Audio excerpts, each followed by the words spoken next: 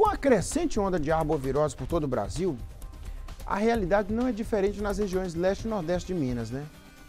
Agora olha que coisa curiosa. Nossa equipe foi ouvir especialistas que vão nos ensinar sobre a diferença entre os mosquitos, é a reprodução das espécies e dicas de como cuidar.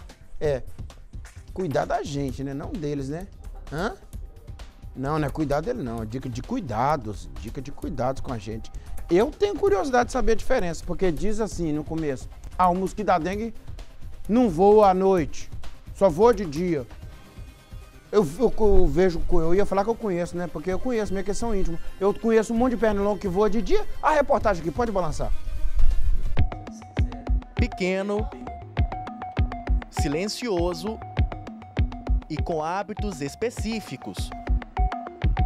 O mosquito Aedes aegypti, transmissor da dengue, chikungunya e do zika vírus, está solta. A gente consegue ver principalmente o fato dele ter o corpo né, cheio de manchinhas ou listras brancas.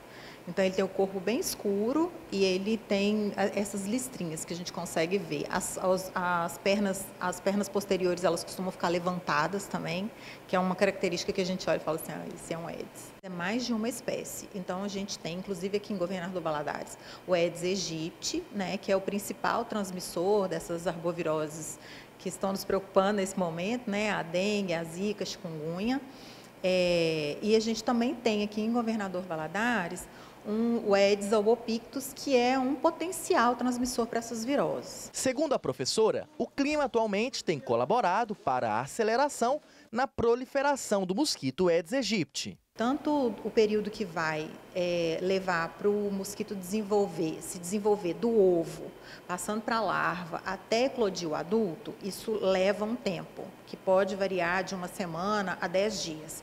Se a temperatura é mais alta, esse tempo diminui, ele se desenvolve mais rápido. Também para a fêmea, quando, ela, quando o adulto sai da água, né, a larva se transforma no mosquitinho que a gente conhece, aquela fêmea que acabou de nascer, ela vai se tornar fértil né, é, a partir dos três dias. Então, pode levar até uma semana para a fêmea ficar fértil. Só que com a temperatura maior, esse processo é acelerado.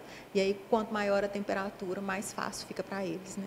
O mosquito tem hábitos específicos em relação à reprodução e período de atividade. Mas a professora alerta que são só preferências e que os mosquitos podem se adaptar. A gente sabe que eles preferem água limpa né? Mas a gente tem visto em laboratório que eles toleram uma série de, de condições.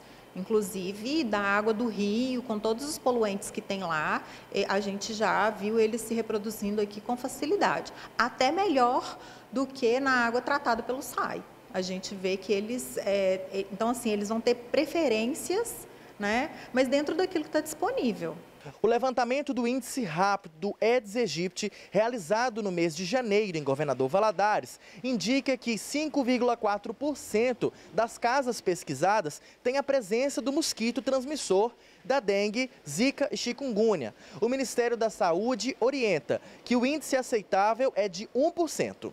De acordo com a Secretaria de Estado de Saúde, em Governador Valadares, neste ano, já foram confirmados 683 casos de dengue e 176 casos de chikungunya. Amadeu é supervisor em endemias em Governador Valadares e faz um apelo à população para o combate à proliferação do mosquito. Segundo ele, a concentração dos mosquitos está nas casas. Por isso que eles falam que o Aedes aegypti é um mosquito doméstico porque ele está dentro dos domicílios, ou seja, em ralos, né, é, prato de plantas, é, vaso. Então, ou seja, ali é onde o morador tem que mais prestar atenção e ajudar a gente a estar combatendo ali, colocando água fervente, né? A questão de estar limpando as calhas, verificando se as caixas d'água estão bem, bem tampadas, é, recipiente de gelo em geladeira também, está olhando uma vez por semana ali. Nos ralinhos, a vigilância, ela, ela, a vigilância de saúde, ela pede para a pessoa estar colocando meio copo de cloro né, e também uma colher de sal na parte da na segunda-feira e na sexta-feira para estar tá eliminando essas larvas. Então, assim, são orientações que se os moradores é, seguirem, vai estar ajudando a gente a combater esse mosquito.